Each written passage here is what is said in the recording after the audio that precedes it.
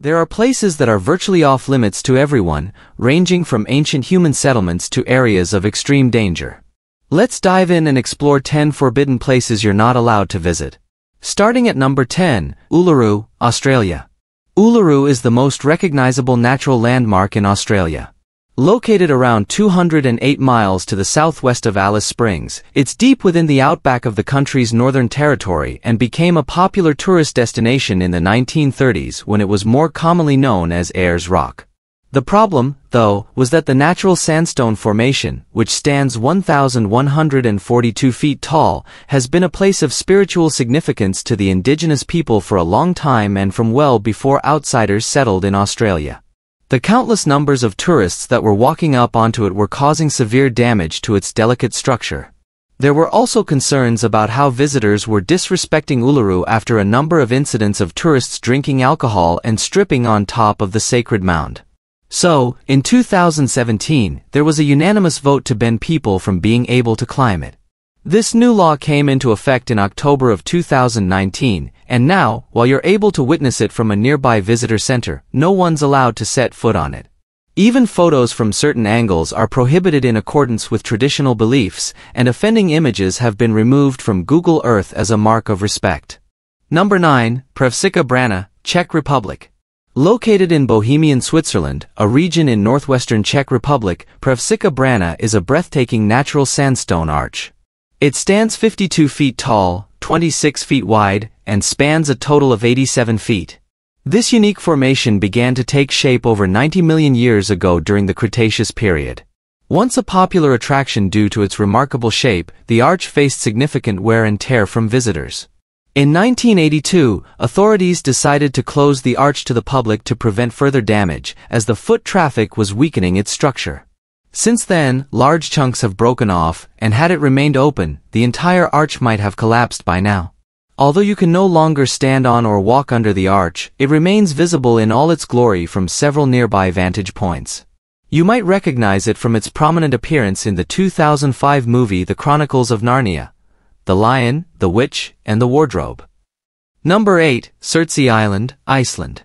The country of Iceland is known for its incredible natural landscapes and dramatic volcanic activity, and one of the most recent and striking examples of this is Surtsey Island, which is around 20 miles from the southern coast. Following an undersea eruption that began in 1963, the island formed and emerged from the waves and has since become one of the world's newest landmasses. Recognizing this as a unique opportunity to study how ecosystems develop in a newly created environment, the decision was made to limit access to scientists only, and all other visitors have been banned. This was to ensure the natural processes could be observed without any disruption, and strict procedures are in place to make sure that no human contaminants are left on the island to skew the data that's collected. Despite being just over 60 years old, the island is already showing signs of plant life and an increasing diversity of bird species. While it's unlikely it will ever be open to tourists, the findings from the research that's been done on Surtsey will no doubt benefit conservation efforts and our understanding of how nature reclaims a barren landscape.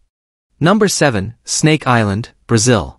Around 25 miles off the coast of the Brazilian state of Sao Paulo, there's a small island called Ilha de Queimada Grande, which is more commonly referred to as Snake Island. This is one of the most treacherous places on the planet to visit because it's absolutely filled with venomous vipers and therefore has been declared as completely off limits by the Brazilian Navy. The snakes, particularly the golden lancehead pit viper, are so deadly that they can potentially kill a human within an hour of being bitten, and this isn't the place you'd want to have an unfortunate encounter with one. It wasn't always like this, however, and it's thought that the snake population took hold between 10,000 and 12,000 years ago after the sea levels rose and cut it off from the mainland. Without many predators and a steady food source of migratory birds, the reptiles began to thrive and now occupy every available space, which has driven people away. Up until the 1920s, there was a manned lighthouse on the island, but since then it's been automated.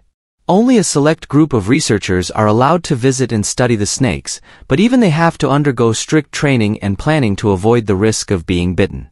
Number 6. Maya Bay, Thailand. Thailand boasts some of the world's most stunning beaches, characterized by pristine white sand and crystal clear blue waters. Among these, Maya Bay Beach on the island of Koh Phi Phi Le is a standout.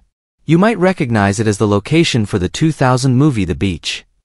Following the film's release, tourism surged, with up to 1.2 million visitors annually by 2015, around 80% of whom were international tourists eager to relax in the waters and witness the bioluminescent plankton that illuminate the sand at night. However, this influx of visitors began to take a toll on the beach, exacerbated by damage from the movie's production, necessitating measures to preserve it for future generations. Despite efforts to rejuvenate the area while still accommodating tourists, the Thai government decided to ban all visitors in 2019, a ban that remains in place. Plans are underway to eventually reopen the beach, including a major project to cultivate corals and clean up trash, ensuring Maya Bay is ready for its future visitors. Number 5. Grand Shrine of Ise, Japan. There are said to be as many as 80,000 Shinto shrines across Japan, with people being just as likely to worship at home as they are in a public building. And while most welcome anyone who wishes to make use of them for their spiritual beliefs, there's one that only a select few people can enter. Known as the Grand Shrine of Ise, it was built to honor Amaterasu, the goddess of the sun and the universe.